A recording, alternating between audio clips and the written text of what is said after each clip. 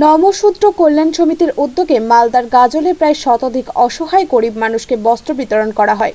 সোমবার সকালে গাজল ব্লকের কাদুয়ারি এলাকায় একটি বেসরকারি লজ প্রাঙ্গণে এই বস্ত্রবিলি কর্মসূচিটি অনুষ্ঠিত হয়। এই কর্মসূচিতে উপস্থিত ছিলেন সংগঠনের সদস্যরা। সম্পূর্ণ অরাজনৈতিকভাবেই এই বস্ত্রবিলির আয়োজন করা হয় বলে সংগঠনের সদস্যরা জানান। বস্ত্রবিলি কর্মসূচিতে উপস্থিত ছিলেন নমশূদ্র কল্যাণ সমিতির রাজ্য সভাপতি হরিপদ বিশ্বাস, সংগঠনের জেলা সভাপতি মেঘনাথ মণ্ডল, গাজল ব্লক সংগঠনের সম্পাদক ধ্রুব সরকার ও বিশিষ্ট ব্যক্তিবর্গ।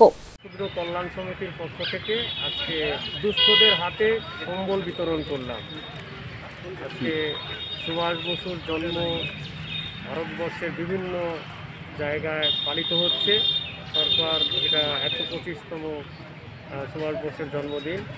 সেই উপলক্ষে আমরা গতকাল পতাকা উত্তোলনের মাধ্যমে আমরা শ্রদ্ধা জানিয়েছি। আজকে আমরা এই দুস্থ পরিবারদের হাতে শীতবস্ত্র তুলে দিলাম।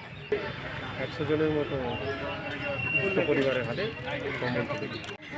আমাদের উদ্যোগটা নমশূদ্র কল্যাণ সমিতির পক্ষ থেকে উদ্যোগটা আমরা নিয়েছি আজকে। যে এলাকার গরিব মানুষ যারা ঠান্ডায় খুব কষ্ট পাচ্ছে, তাদের ডেকে এনে এখানে এই উদ্যোগটা নেওয়া হয়েছে।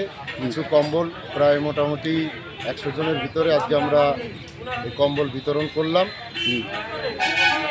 তো মানুষের পাশে থাকার জন্যে আমাদের এই সংগঠন, এই সংগঠনটাকে আমরা আরও এগিয়ে নিয়ে যেতে চাচ্ছি। এই মানুষের পাশে থেকে, গরিব মানুষের পাশে থেকে এবং তাদের যাতে আমরা কোনো উপকারে লাগতে পারি, এই জন্য আমাদের এই উদ্যোগ।